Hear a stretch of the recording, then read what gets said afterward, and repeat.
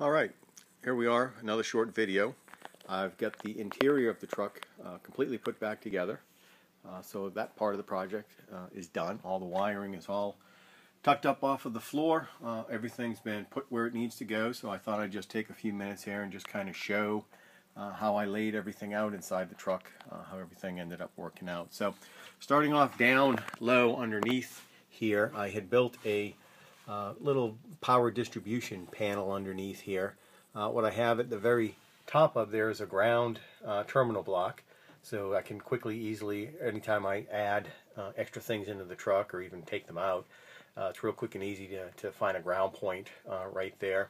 And then down below, um, starting from the left, this guy over here, this is the, the battery connection. This is straight off the battery.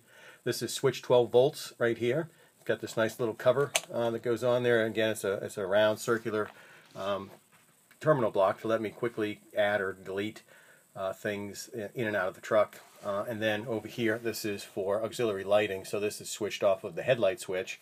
And I can add lights for gauges and other things like that to it um, to have them come on and off.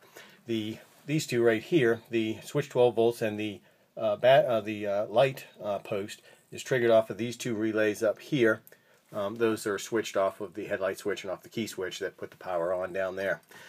So that makes it easy now adding things in and out of the truck. Uh, let's see, the tachometer ended up over here uh, just on the other side of the steering wheel. Uh, let's take a look back from up here, I guess. So I wasn't able to fit it where I initially wanted, so it ended up over here on, on, the, uh, on the left side of the steering wheel, uh, which is fine. When I got in here, putting everything together, the boost um, down there along with the pyrometer. Uh, the lighting is reflecting off those lens covers. Uh, with the two pull knobs for the vents right there, there just wasn't enough room to, to stick the tachometer over there like I hoped. After the pyrometer comes the glove box, so there's no no room, and, and the heater box is right on behind all that, so there was just no room over there for the tachometer. Um, the brake controller is still where uh, it has been. What I did was I modified the bracket for the brake controller and underneath there, uh, I'm able to uh, put my data link connector for the computer so I can hook up AutoEnginuity in there and, and see what's going on.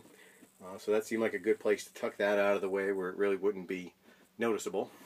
Uh, up here in the dash, what I did was uh, off eBay, I ordered a couple of NOS old, new old stock lights that supposedly are from the 50s, so they were sort of vintage and, and to the era of this truck. Um, I have an amber sitting here next to the wiper, uh, a red one right next to it.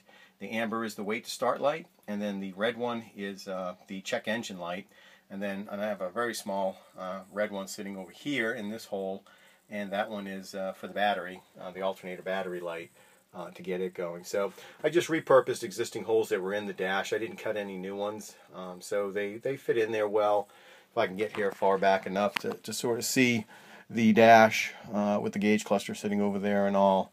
Uh, you know, I tried to keep with the character of the truck. I didn't want to make it look too modern, adding any fancy digital uh, anything or LED lights like that in the dashboard.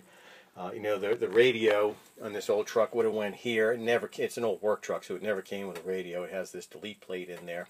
A couple scratches in there. I got to touch up from the work I've been doing. Um, but so so just trying to keep with the character of the truck. Uh, over here on the other side of the steering wheel, this is the uh, headlight switch. So this is what actually brings on. I don't know if you can see them coming on the the lights for the tachometer uh, and the lights over here for the uh, pyrometer uh, and boost gauge uh, come on with pulling the headlight switch.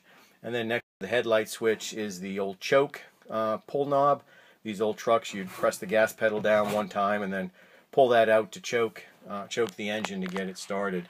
Um, so what I did was I sort of modernized that, and, and the C that you see on there uh, doesn't stand for choke anymore. It stands for computer or chip. What I did was I mounted my uh, TS six position chip uh, right there, and I just drilled out the old uh, choke cable knob, uh, put a little set screw in it so that it, it turns the uh, what you call it, the, uh, the six position chip in there. So laying horizontal flat like that, that's the stock position. And then one turnover is my high idle. One more turnover is my sort of standard tow.